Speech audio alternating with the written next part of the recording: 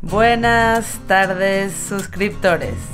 Esta receta nos las dio Avis Kitchen, típica en Sinaloa como entrada o complemento para comerlo con tostadas o en taco. Con ustedes la receta de los frijoles puercos. Antes de continuar no olviden suscribirse al canal. Aquí tengo medio kilo de frijoles bayos remojados. Los voy a poner a cocer en la olla de cocción lenta durante 8 horas. Si ustedes tienen olla express pueden cocerlos ahí y dejarlos por 30 minutos. Pondré 150 gramos de tocino en cuadritos a freír y lo retiro cuando esté dorado.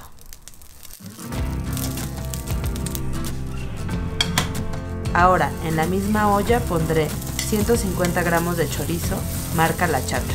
Uso este tipo de chorizo porque es el que se deshace fácil y no tiene tanta grasa. Ahora regresaré a la olla el tocino y agregaré media taza de manteca y ya que está todo dorado agregaré los frijoles previamente cocidos con un poco de caldo y lo revuelvo. Agregaré tres chiles jalapeños en escabeche cortados en cuadros. Agrego media lata mediana de chiles chipotle integro y agrego un poco de sal. Con esta procesadora voy a moler los frijoles. Si ustedes no tienen una como esta, pueden usar la licuadora. Ya que están molidos, agregaré 100 gramos de aceitunas verdes cortadas en rodajas.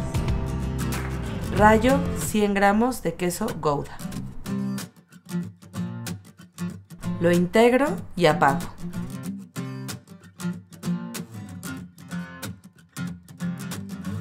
Y así se ven listos los frijoles puercos. Si les están gustando estas recetas, suscríbanse al canal y compartan.